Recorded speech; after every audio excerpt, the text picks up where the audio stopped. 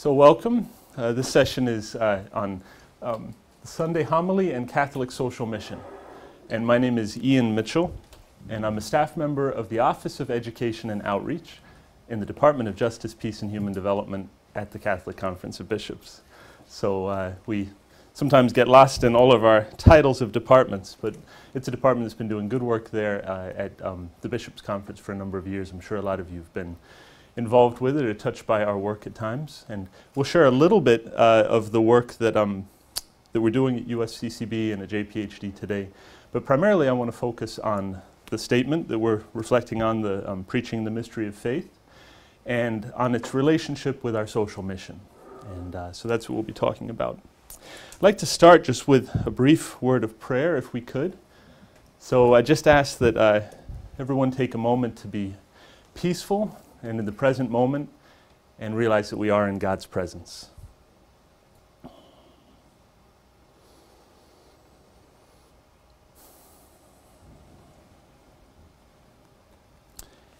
And this is a reading from the prophet Isaiah.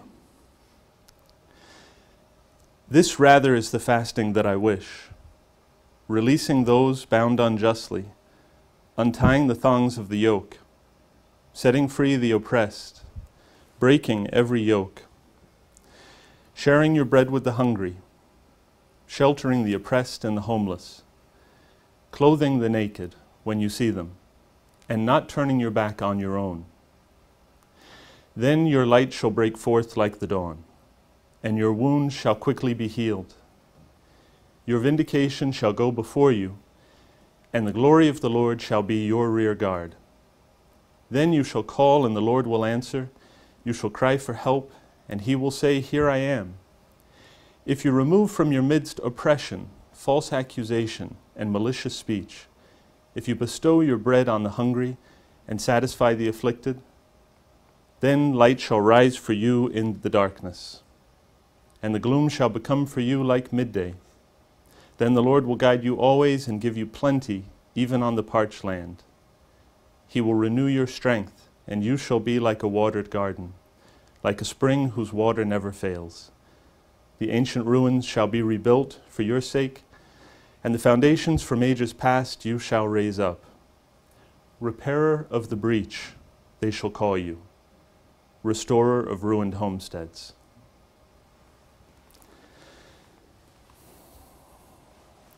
And so, Father, we ask you to bless us in this time of sharing today ask you to open our hearts, our minds to the power of your word to transform us and our world. We ask you to bless this conference. We may be ever more ready to respond. Amen. Amen. So, thank you all again uh, for being here. And uh, that's a, I think, a powerful passage from Isaiah. Uh, it's quite a mission. And I think when we talk about something like a new evangelization, uh, movement into greater life uh, as a people of faith and in the world, uh, that vision is, is uh, deeply encouraging. Uh, at the same time, it challenges us and points out directions we need to, to move in. So I, I hope you'll appreciate the relevance to our topic today. And just to give you some sense of an overview of what I'd like to spend time on today, I uh, would like to tell you just a little bit about our work in justice, peace, and human development. We won't spend too long on that. Definitely want to speak about the context which we're, um, which we're in, uh, seeking to foster social mission of our church today. Um, definitely the topics of the new evangelization uh, and what Pope Benedict is, Pope Francis, excuse me, is sharing uh, are critical. You know, both both popes, frankly, uh, the continuity is one of the key issues uh, that that that we try and focus on. Uh, and we believe this, this continuity goes far back, uh, certainly as far uh, as the Second Vatican Council and the Communities of Salt and Light statement, which we'll spend some time with today as well. So that was a statement from 1993 from the U.S. bishops. And we feel that, that the call in that is still very, very relevant, and it's something we're going to be focusing on in our, in our office in months and years to come. Uh, and uh, then to focus on this statement, preaching the mystery of faith itself, and draw out the elements that are, that are um, consonant with social ministry and also encourage us to, uh, to understand that a, a, lived expression of our faith is critical for preaching to reach its, its fulfillment. Uh, and uh, finally, then we'll just have some time for questions and answers together. So, re- reflection. I think most of the answers are out there in all of you, so uh, hopefully, draw a few of those out. So, um, by way of introduction, I thought it would be helpful just to uh, share a little story. Again, I'm at the Bishops' Conference today, but uh, um, I've been blessed to find my way largely in response to the sacraments, to good preaching, uh, to people who are engaged in really grounded ministry uh, that, that um, has its home in the church but moves out beyond the walls of the church. Uh, I did that as a layperson in my 20s. Uh, in my 30s, I moved into religious life and I spent about six or seven years in the Society of Jesus in the Jesuits. Had wonderful formation there. Uh, and now I continue to sort of follow the call uh, as I continue to, to listen to it um, in, in work of lay ministry. But a few years ago, when I was at Loyola Chicago, uh, I was at Mass uh, at the University Chapel and uh, was sitting in a, in a back row, as Catholics are sometimes known to do, and uh, noticed sitting next to me there was a young woman, uh, and afterwards got speaking with her. Turned out she was from China uh, and fairly recently arrived in this country and was a recent convert. And as we stepped outside and walked along Lake Michigan, uh, she asked me a really kind of piercing question. She said, Have you ever experienced any miracles? And not something that we ask each other that often as Catholics. Uh, it took me by surprise, and I thought about it for a moment. Um, was pleased to say yes, that uh, I knew at least one was coming to mind in that moment. Uh, that uh, you know, I had been a person like her who really embraced my faith as an adult, uh, and sitting in pews in a parish in Washington, D.C., had heard the gospel pronounced uh, in the context of um, a lot of people who struggled in life, mainly in India. So these were missionaries who were preaching, uh, who had spent long, many years in India, uh, amongst people at the margins of society. And uh, when they preached, uh, there was power in, in that grounded message that, that uh, was learning as much as it was teaching the people around them, learning from them. And I had, I had been more and more inspired. I had eventually left my job. Uh, I had gone to India to do some volunteer work. Found myself at the Damien Social Welfare Center uh, in northeast India in the state of Jamshedpur.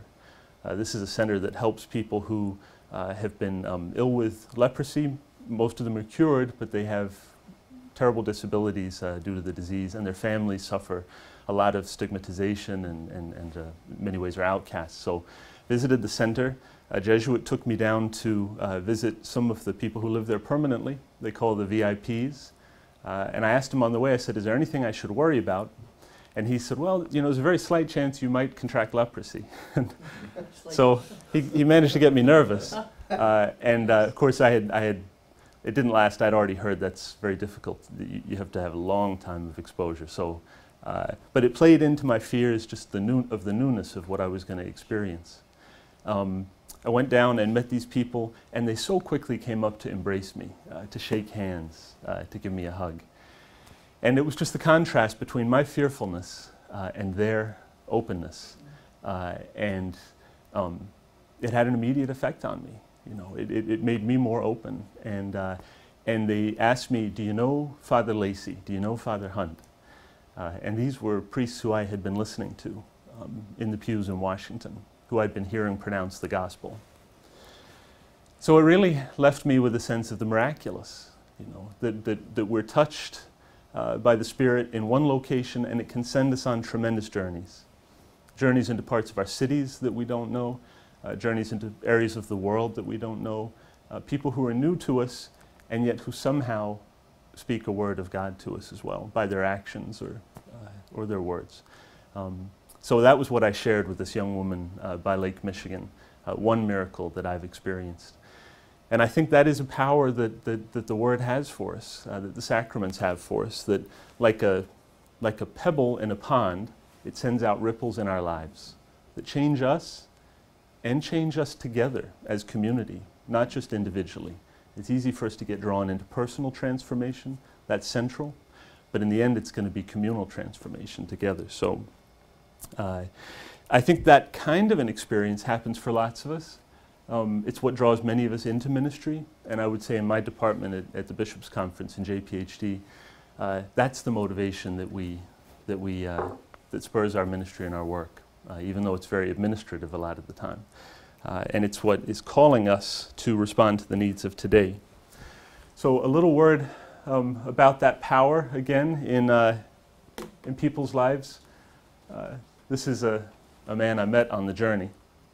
Uh, but it's the words of a philosopher who says to sanctify God's name, as the Lord's Prayer asks us to do, is to learn to hear events as so many of God's words.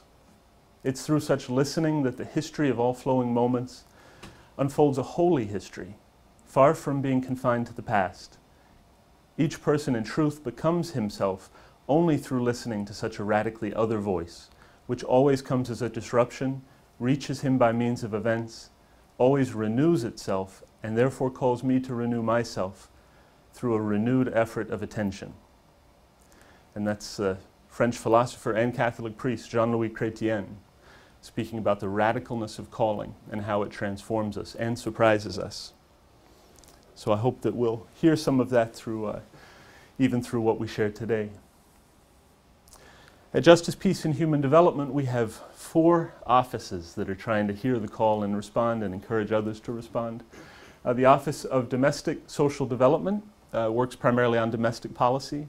Uh, a heavy emphasis is on uh, alleviation of poverty and protecting people uh, who are in poverty. They've been very involved with the um, Circle of Protection, uh, in fact, really the originators of the Circle of Protection and working with a broad coalition that continues that effort. The Office of International Justice and Peace um, works on a broad range of, uh, of international issues. Um, again, food, hunger, poverty are major issues of concern, but war and peace more explicitly. Uh, and many, many issues we realize cross between the, the areas. So things like uh, prevention of violence and uh, um, you know, the issue of guns, which we've been hearing about in this country recently, is, is often a cross-border phenomenon. So international justice and peace is very involved in uh, prevention of violence. Um, Catholic Campaign for Human Development uh, is grassroots community development, working with directly with people in poverty, helping them uh, be empowered and find their own solutions. Uh, and it continues its very good work. And then the fourth office, many people don't know about, but is education and outreach. That's where I work. Uh, and we're trying to, in many ways, communicate the work that those other three very specialized areas are doing. Um, and connect it with the lives of people in dioceses and parishes, in religious communities, on college campuses, through media, um, print media, electronic media. So um, trying to be as mobile and responsive as we can to, uh, to the needs of the moment and we'll have a chance to speak a little bit more about, um, about what that work is. But again, just to draw, draw out that this is, this is mission and ministry. Uh, we are in this work trying to respond to the call that God gives us throughout the scriptures and that we hear on Sundays. You know, who do you say that I am? Uh, from Luke, we heard Sunday, right? Jesus directly asking us. And we believe this work is, is part of, of how we respond. Um, in Isaiah, God asking, you know, who am I to send? Who will go for us? Uh, the church continues to respond to this call. And I, uh, I think when people in parishes sometimes feel, you know, what's the church doing? What, what are they saying? It's our responsibility to try and let them know this is work that we're doing and that we'd like them to join. Okay. So, uh, the language of faith is critical to this work of education. Uh, a lot of the work is highly specialized in Washington. Uh, policy work can, you know, has its own uh, kind of patterns and, and rhythm and language. But for the public, especially for people in the pews, it's, it's critical that we're speaking in the language of faith mm-hmm. so that people understand and we're helping them make the link between the word they're hearing, the sacrament they're receiving, and what happens when they step out of the church doors in their families, in their communities. So these are a couple of resources we've developed recently. Uh, Sacraments and Social Mission makes this link very explicit. Uh, and uh, there's, there's a, a, section for each of the sacraments and then how it relates to um, our life outside the church, uh, the walls of the church, as it were. Uh, Two Feet of Love in Action is, uh, is an old resource that's been updated. so this sense of two feet I of wondered, I wondered yes. had ever been updated. so- Right. So it's, it's still with us. And uh, the emphasis both on uh, works of, um, of, of charity, as it were, direct, immediate service, works of mercy, it used to be called, uh, and uh, works of social justice, addressing the kind of systemic issues that cause poverty and injustice. So um, uh, we've tried to incorporate in Two Feet of Love and Action uh, much of the teaching of Pope Benedict, uh, and um, again, his emphasis on love as the foundation. Uh, so, so that's a great resource, and it, there are materials available for education with young people, um, uh, particularly, and we're, we're rolling out more training materials around that. So I have copies of those for you today.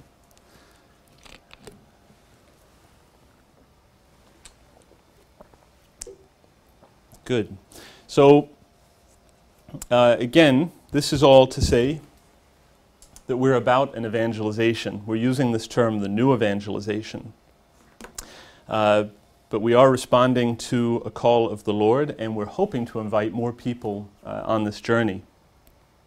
So, uh, um, uh, again, you know, the sense of a witness, that we have to live a witness to our faith, is critical. And I think that's what you hear uh, in the documents around the new evangelization. Uh, there's, there's not one place we can go for that, but, um, but we have tried to draw out some of the resources, and we're sharing a few of those here. One is the um, Pope Benedict's letter, uh, his apostolic letter of Porta Fidei, the door of faith. Uh, and he says, We make it our prayer that believers' witness of life may grow in credibility, to rediscover the content of faith that is professed, celebrated, lived, and prayed, and to reflect on the act of faith is a task that every believer must make his own. Okay, so again, the call is to all of us, not just some of us, and that's a theme we'll be hearing uh, as we go along. Um, what the world is in particular need of today is the credible witness of people enlightened in mind and heart by the word of the Lord, and capable of opening the hearts and minds of many to the desire of God, to the desire for God and for true life, life without end. So again, credible witness.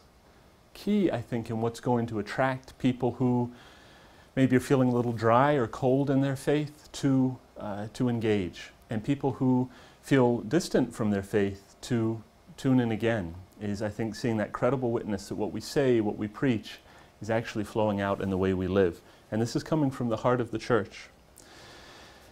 Finally, a new evangelization is synonymous with mission, requiring the capacity to set out anew, go beyond boundaries, and broaden horizons. The new evangelization is the opposite of self sufficiency, a withdrawal into oneself, a status quo mentality, and an idea that pastoral programs are simply to proceed as they did in the past. So that is not from Pope Benedict directly, but it is from the outline, from the bishops, uh, international bishops' outline for their synod. We're still waiting for the final document of that synod. I understand it may even be coming later this year. But their outline going into it was bold, and it really said we can't continue uh, in a limited way or just as we have in the past. Uh, we have to be more open and willing to, to step out. Uh, it's a call we'll hear again from Pope Francis in a minute. Um, uh, and I think yesterday we talked about this the formation of clergy and the tendency at times for people to want secure identity. And that's a key moment in, in development, it's a key moment in faith uh, development. But if that's the end, if that's where people stop, then uh, we can really end up in a, in a difficult position uh, in relation to the outside world. And, and the church is calling us to, to be in relationship. Uh, Pope Francis, as I say, continues this, this general theme. He says, In this time of crisis, we can't just worry about ourselves, can't get wrapped up in loneliness or discouragement. Please do not get locked away in yourselves. When the church becomes closed up in itself, it gets sick. The church must go out from herself. Where?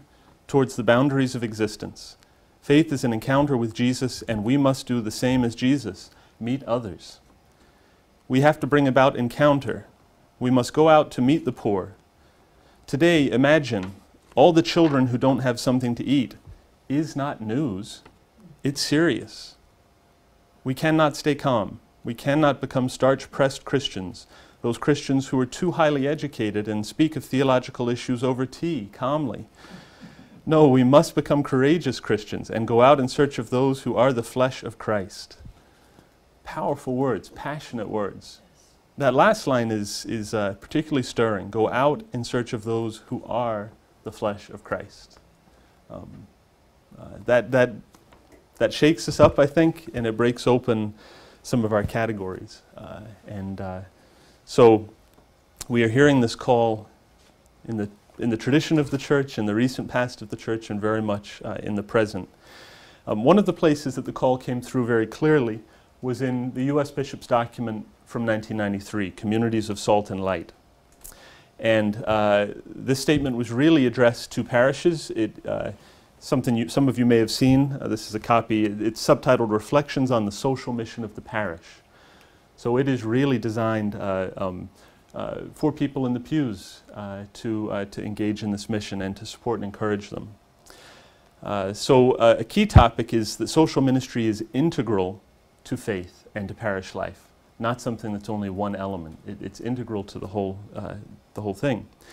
Uh, it states, we cannot proclaim a gospel we do not live, and we cannot carry out a real social ministry without knowing the Lord.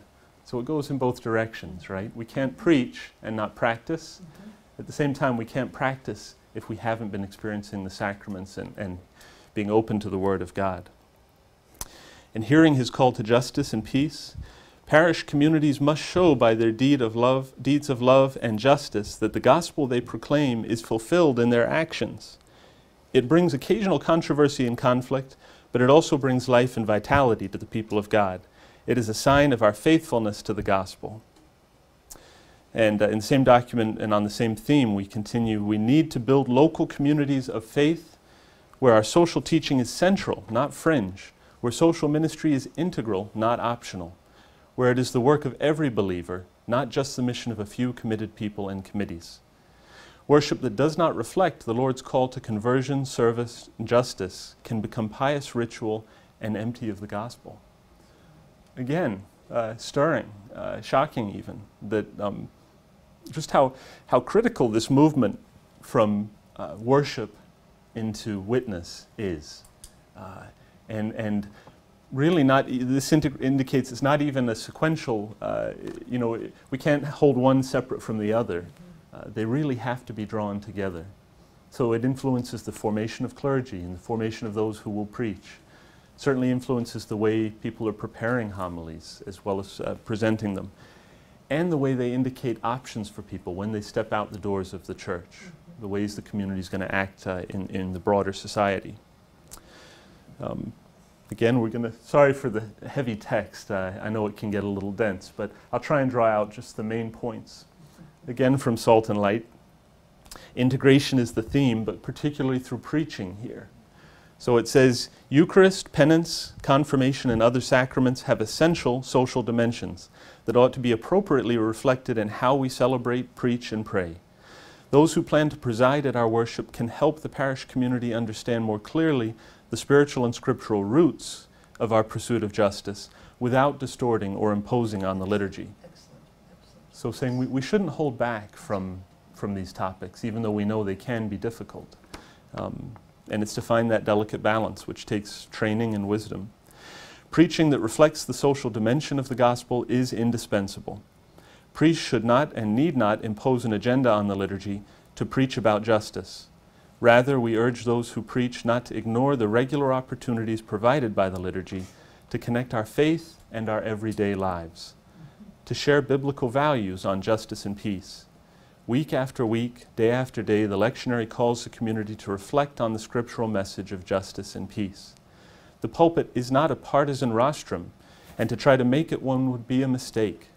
But preaching that ignores the social dimension of our faith does not truly reflect the gospel of Jesus Christ.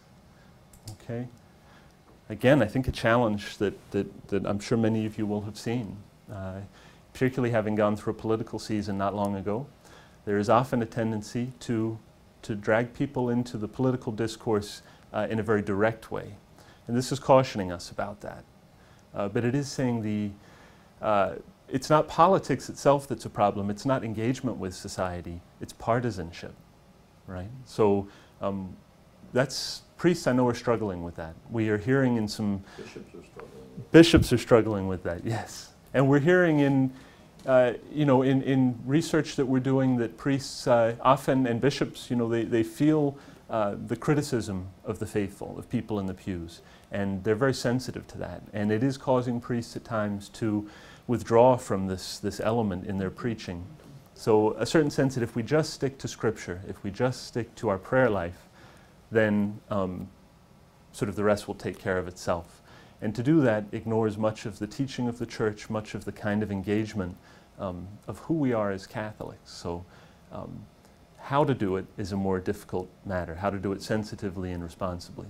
Uh, and I, I, believe a key element is formation. Again, that will be throughout this presentation, but um, ongoing formation with people at the margins of society that, that um, opens our hearts and uh, um, in some ways gives us a location for the gospel.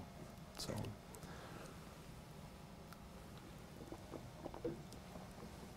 And to do one more uh, set of quotes that I think just sums this up from Salt and Light, um, really about renewal, that this is key if our parishes are going to be alive.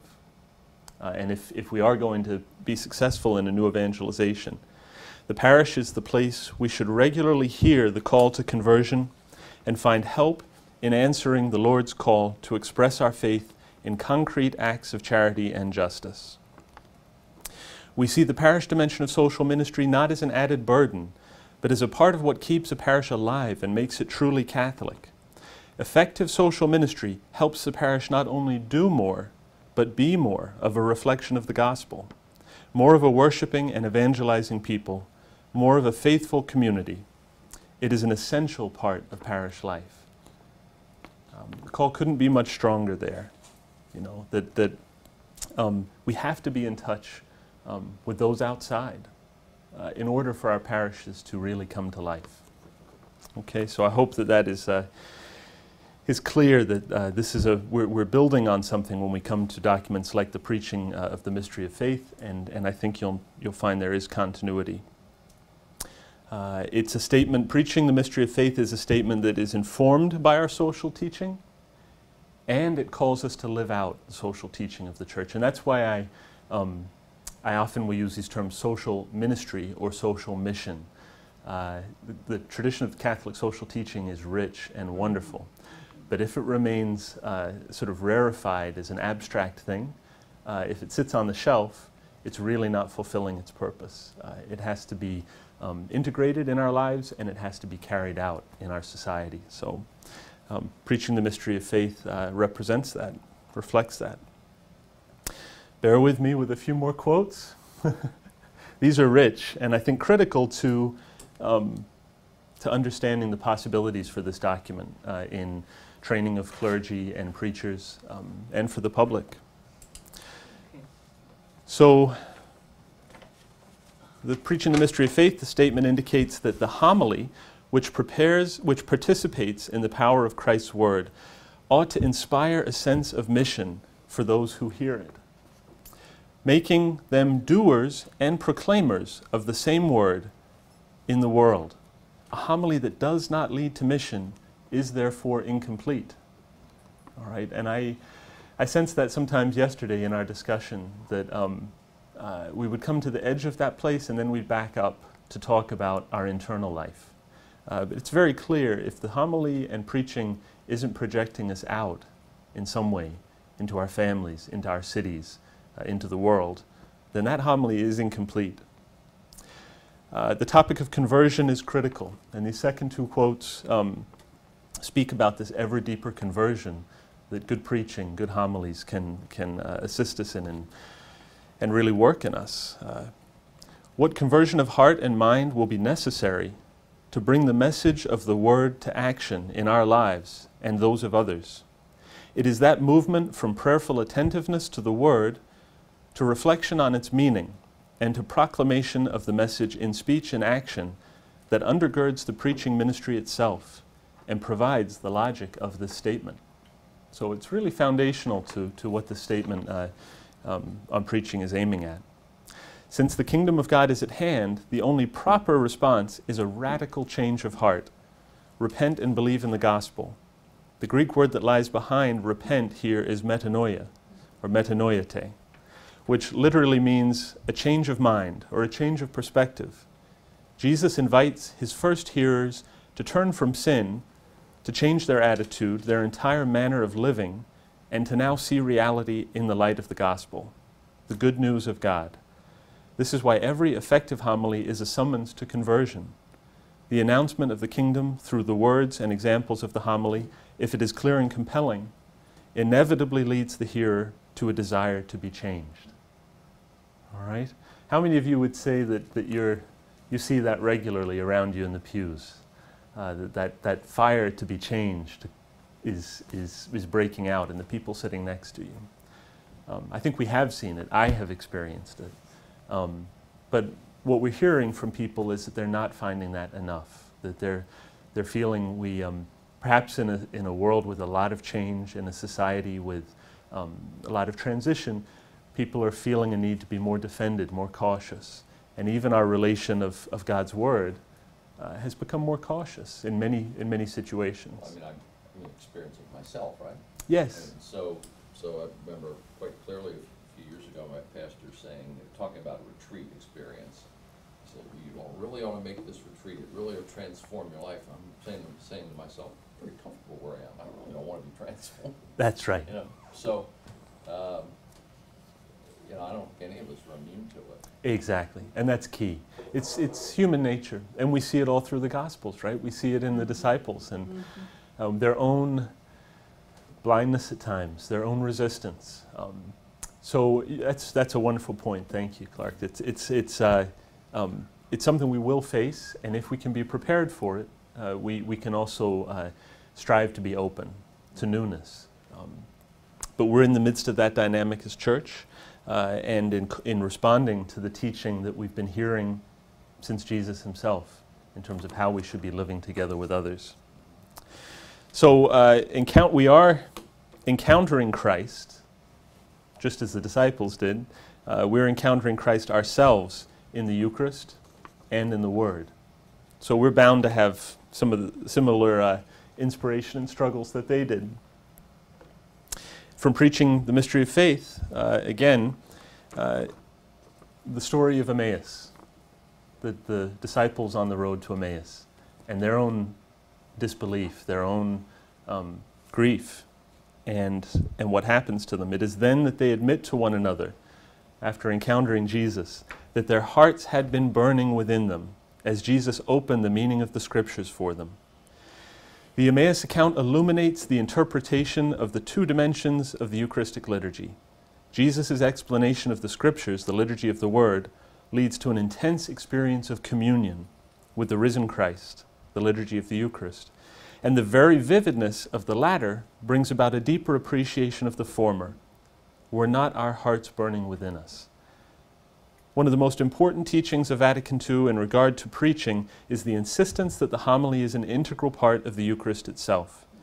As part of the entire liturgical act, the homily is meant to set hearts on fire with praise and thanksgiving. So, again, this is what we hope for. This is what we um, are hopefully training our clergy and our preachers for, um, is for a powerful encounter with the Lord uh, and to be open to transmit something of that encounter in their preaching uh, so that people are uh, having the experience of their own hearts uh, burning with love for the Lord and, and for God's people. Therefore, a wedge should not be driven between the proper content and style of the Sunday homily and the teaching of the Church's doctrine. To encounter the living presence of the risen Christ in the Word of the Scriptures and in the sacrament of his body and blood is not incompatible with effective communication of what faith in Christ means for our lives.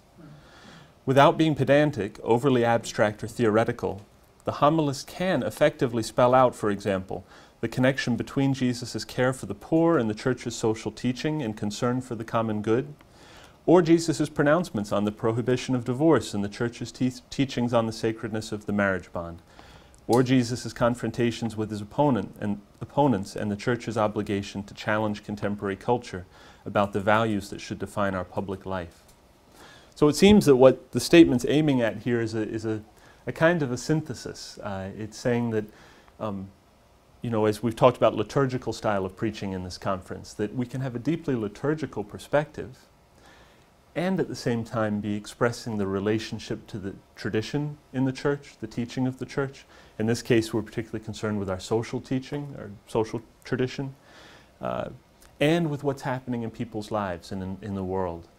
Uh, to do that without stepping into the partisan realm, to do it with a certain gentleness, uh, um, perhaps that you know calls us to examine our own weaknesses, our own limitations, more than is demanding that we uh, take a particular line. Uh, that, that questioning and reflection can be very helpful in bringing us to new understandings and new commitment. The, uh, um, another important topic that is raised here is the uh, um, appropriate incorporation of this doctrine and catechesis. So we've, the, the statement and what we're going to hear about later today is that uh, doctrine and catechesis has a place in preaching, but I don't think we have to fear that what's being recommended is that we return to that being the primary mode of preaching. Uh, it's saying that it, it has a place, uh, but it is with, with uh, strong qualifications. And I wanted to uh, draw one of those out here. So um, the statement says So when all is said and done, why should the homilist preach doctrinally and catechetically? Because, as Paul the evangelist knew, the people are drawn to Jesus and his gospel by the beauty and truth of the mysteries of our faith. The ultimate goal of proclaiming the gospel is to lead people into a loving and intimate relationship with the Lord, relationship that forms the character of their persons and guides them in living out their faith. A good homilist, for example, is able to articulate the mystery of the incarnation, that eternal Son of God became to dwell among us as man, in such a manner that his listeners were able to understand more deeply the beauty and truth of this mystery and see its connection in, uh, with daily life. I'll skip ahead a little bit. The key point here is by expanding the congregation's love for the humanity of Jesus, the homilist could also move his fellow Christians to a deeper sense of justice, with a sense of compassion for the most vulnerable and the poor and the broken humanity of their neighbors. Okay, so it's making these links that um, in some ways take, take a skill and, and subtlety in communication. They also take a deep, grounded experience with people that can't come quickly and it's not superficial. Uh, it has to be developed in people. Those of you who are in seminary training, I, you're in the midst of that. And, and it's a long process of, of introducing people to others, other perspectives, other experiences. Uh, it's what I've been privileged in my own ministry training to experience. And, is how we hear this deep calling and give it, give it context in the world. So, uh, as we've heard over and over, the field is the world, uh, as we talked about yesterday from Matthew. Uh, it's not just within the walls of our church. So, uh, it's appropriate uh, that our doctrine and um, catechesis can move us to that extension into the world um, if handled delicately experience, as I'm, as I'm mentioning here, is also critical. The experience of preachers, the experience of the community. Being an effective storyteller may not be a gift that comes easily to everyone who must preach, but the lesson here is that the homily must have empathy for human experience. Observe it closely and sympathetically, and incorporate it into his preaching. The role of reflection on experience was a particular emphasis if fulfilled in your hearing. Mm-hmm. And here the, the statement, preaching the mystery of faith, um, quotes directly from the earlier document. In order to make such connections between the lives of the people and the gospel, the preacher will have to be a listener before he is a speaker. Listening is not an isolated movement, it is a way of life. It means openness to, to the Lord's voice, not only in the scriptures, but in the events of our daily lives and in the experience of our brothers and sisters. All right, so, so a withdrawn perspective is not going to be helpful in this context. Uh, rather, someone who's, who's listening, who's open, uh, who's willing to hear new ideas, new experience, and, and be changed. And that's a foundational attitude for a good preacher, as we hear. Uh, let's see. So, a further point uh, here is that the goal of the homily is to lead the hearer to a deeper inner connection between God's Word and the actual circumstances of everyday life. In some instances, one's own experience, told in an appropriate way without drawing too much attention to oneself, can also be effective. Um, skipping ahead just a little, uh, consequently, those who've been changed with preaching by virtue of a specific ministry ought to take this task to heart. Generic and abstract homilies which obscure the directness of God's word should be avoided, as well as useless digressions which risk drawing greater attention to the preacher than to the heart of the gospel message. So, staying focused is critical, uh, but um, finding that place of balance um, between uh, the sharing of experience and the transmission of the word as we as we hear it. Know, my experience is that generic and abstract is just the kind of the default mode preaching today. Mm. Um, and, and pietism, you know, which goes along with that. I just, Yeah. I just, you know, hear it too much as I travel. Right. Visit a church on a Sunday and Right. Yeah, and that, that doesn't reach people in the pews, Mhm. perhaps, and doesn't nourish us in the way we, we need to be nourished. Um, and yet, it is understandable in some ways. We, as we were hearing yesterday, the cultural forces at work, the, um, the generational transitions uh, often lead younger preachers, younger clergy, uh, into uh, um, uh, primary emphasis on, on rootedness, groundedness, identity, uh, which again isn't wrong, uh, but if we get stuck there, then we're. Uh, Uh, My own experience is it is, it has no relationship to uh, the age of the preacher, priest or deacon. Ah, okay. So that it, it may be just a, a sort of movement that people fall into. Yeah, it's, it's, it's comfortable, it's easy, it doesn't require a whole lot of reflection on Yeah. either social mission or, or on uh, personal experience, in, in this personal experience in the sense in which you Yeah. were just talking about it. Right. Well, um, we'll continue with these. I think that's helpful because the key thing here is that preaching stretches us. It stretches the preacher and it stretches the hearers. So I think uh, that that's reflected here. all of the, the, the, the examples that preachers tend to give are, are what I would think of as canned. Yes. They're canned examples. Right. you know, Right. Parents and children, and, you know, those kinds of. Right. Right. Right. So the breadth of experience maybe is too narrow. Um, um, just continuing to take the lead from the statement here, and Pope Francis, who is certainly breaking us out of any sense of comfortable complacency, uh, from the statement, in the sense, the evangel- evangelizer must also make sure that his own life has engaged the power of the gospel of Jesus Christ. Quoting St. Augustine, the Pope observes, He is undoubtedly barren who preaches outwardly the word of God without hearing it inwardly. It takes a deep spiritual life and experience of the world.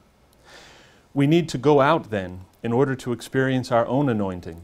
Its power, this is from Pope Francis, its power and its redemptive efficacy. To the outskirts, where there is suffering, bloodshed, blindness that longs for sight, and prisoners in thrall to many evil masters. A priest who seldom goes out of himself misses out on the best of our people, on what can stir the depths of his priestly heart.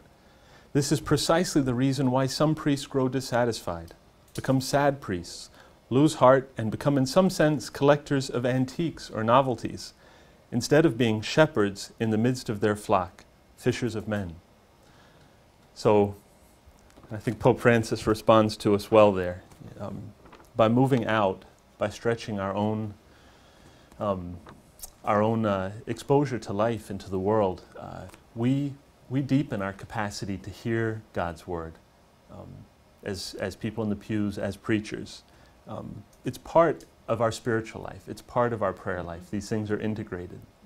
Uh, and we keep being called to that over and over again. So, um, a bottom line is that preaching needs to be incarnational.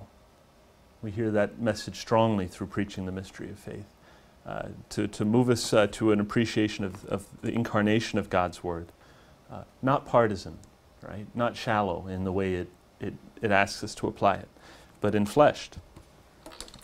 And a final reflection on the statement itself. Uh, it would be inappropriate for the homilist to impose on the congregation his own partisan views about current issues. Yet for preaching to be so abstract that it reveals no awareness of or concern for the great economic and social issues that are affecting people's lives in a serious way would give the impression that the words of Scripture and the action of the Eucharist are without relevance for our everyday experience and our human hopes and dreams. So you can see where the disconnect can happen if, if preaching uh, isn't, isn't uh, offered by people who've been formed well, who are prepared well, and who are in touch with the lives of people in the pews, people in their community. Uh, historical criticism reminds us that biblical religion, unlike mythic systems, is rooted in real events and persons, and that God has, has deigned to reveal himself in the realities and particular circumstances of human history. Okay. So the relationship in the statement to social mission, I think, is strong. For anyone who's heard the call of, of uh, communities in Salt and Light, I think you'll find that, that the same call uh, of our church uh, is reflected here in, in preaching the mystery of faith.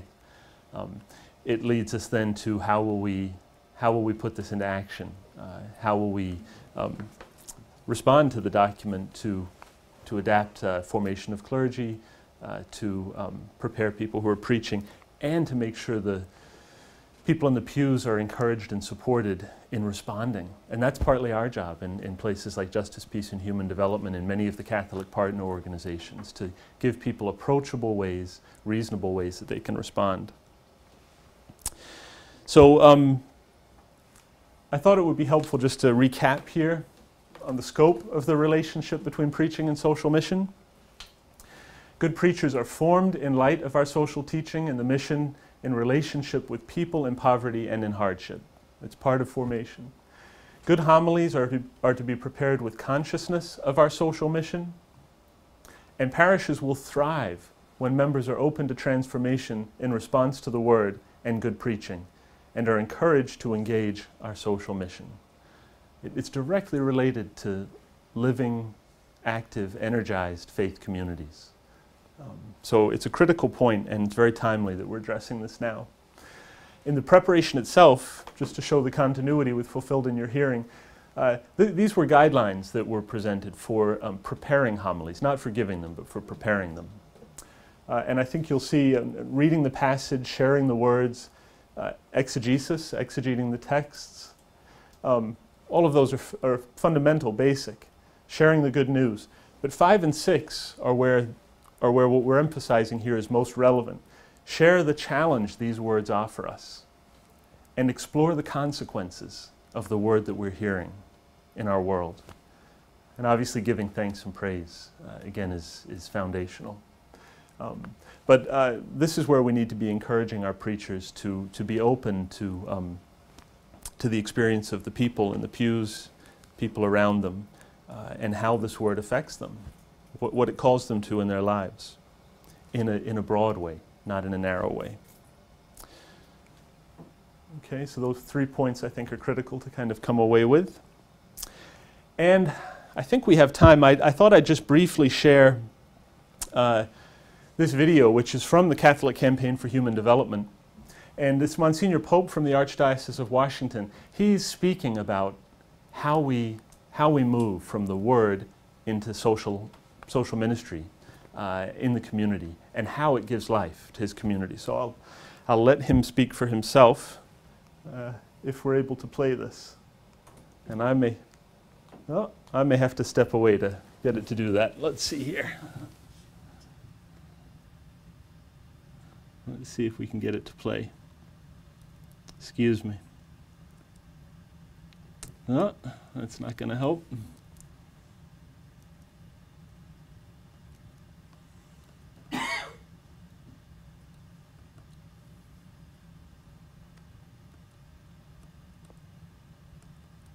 Oh, goodness. Well, it may not work. Okay. Well, we won't worry about Monsignor Pope. Uh, I will return to, uh, to the slideshow if I can. From the, do it from current slide. Ah. Okay. Thank you.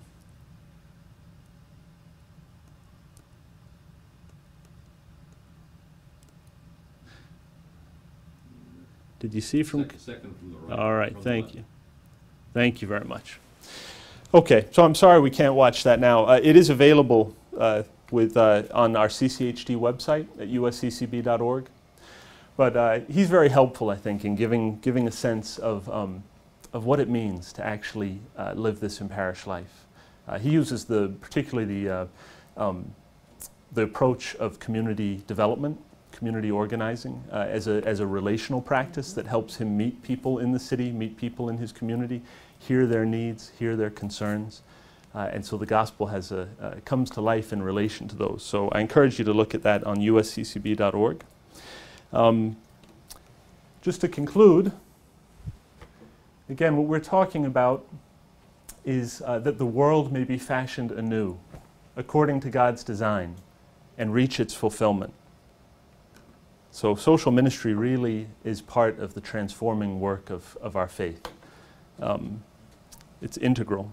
God created us without us, St. Augustine says, but He did not will to save us without us.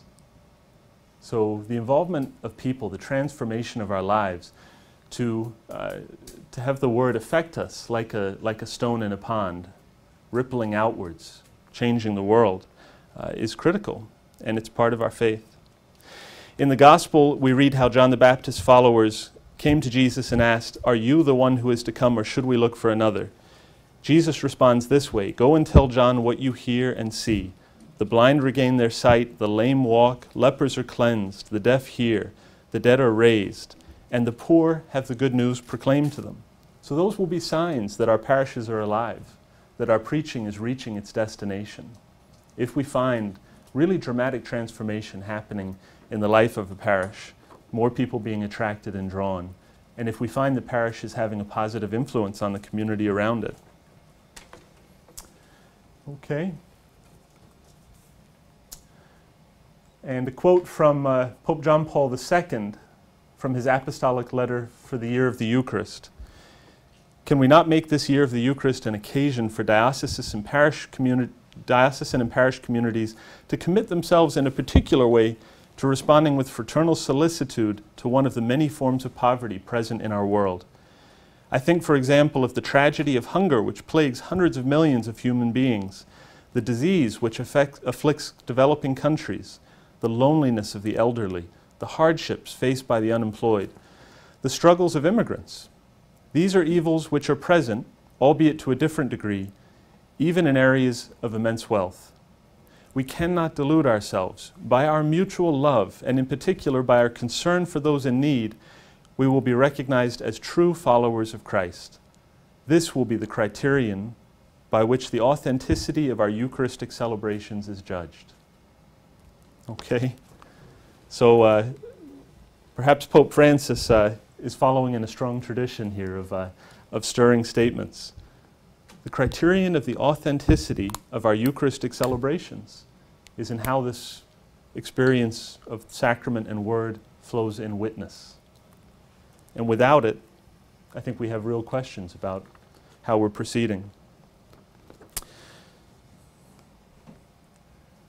Uh, so, uh, now I'm skipping ahead just a little here. Let's see, did we have one more? Ah, yes, we had one more here. So this is why the, uh, the homily participates in the power of Christ's word. It ought to inspire a sense of mission for those who hear it, making them doers and proclaimers of the same word. A homily which does not lead to mission, therefore, is incomplete. I think that's clear. It's echoed through the current statement as we see, preaching the mystery of faith. So this is where we find ourselves, right? In a world that is broken in many respects, uh, and yet is filled with tremendous life, tremendous richness, the gift that is born into this world with each new child. And um, being open to being touched by that gift, the newness of creation in each person.